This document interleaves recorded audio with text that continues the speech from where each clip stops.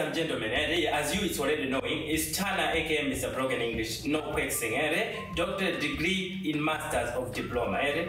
Some people is wondering why is this young man eh, is folding blankets in October. Eh. Is it not feeling hot?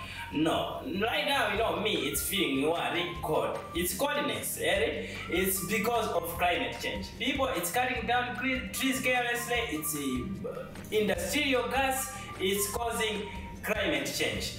That's why me, it's very uh, pleased and it's proud to telling you, to announcing to you uh, that there is a discussion called COP26 it's taking place uh, at Glasgow. Glasgow. It's outside the country, eh? from 1 to 11 November. Eh? So you as as young persons, eh? as artists or everyone, all stakeholders,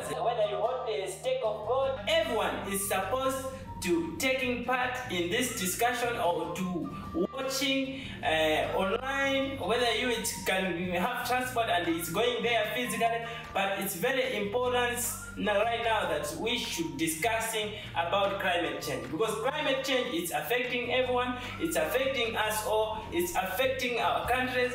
We really need to be to be done something about this. Eh? We need to planting many trees, avoiding harmful bushfires. It's many many ways. So that's why I'm also encouragement all of you to attending or to be part of these discussions which is also happened online. The Malawi Scotland Partnership It's also elect Eh, a COP hub eh, in Lilongwe, which is enable young people eh, to following the discussions online. Uh, so because the Malawi Scotland Partnership it's understand the importance of this discussions which is taking place in Glasgow.